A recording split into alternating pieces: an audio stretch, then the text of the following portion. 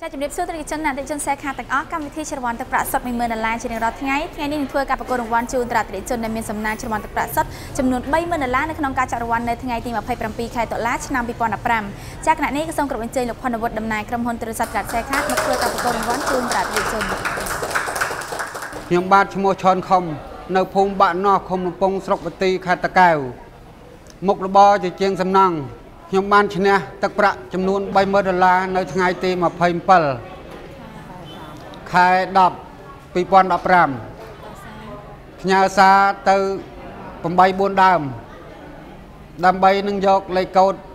ទុកផ្ទៀងនៅពេលល្ងាចនៅពេលល្ងាចខ្ញុំមើលទូលទស្សន៍ឃើញអឺឃើញលេខកូដរបស់ខ្ញុំហើយនឹងលេខទូរស័ព្ទរបស់ខ្ញុំខ្ញុំត្រូវសបាយលោតអពេញទឹកពេញផ្ទះ ហើយខ្ញុំប្រាប់ប្រពន្ធកូនខ្ញុំថាត្រូវអឺ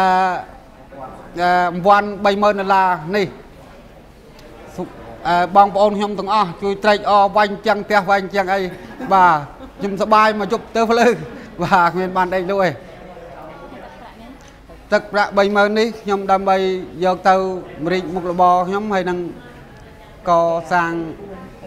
ផ្ទះរបស់ខ្ញុំឲ្យបានសำរម្យ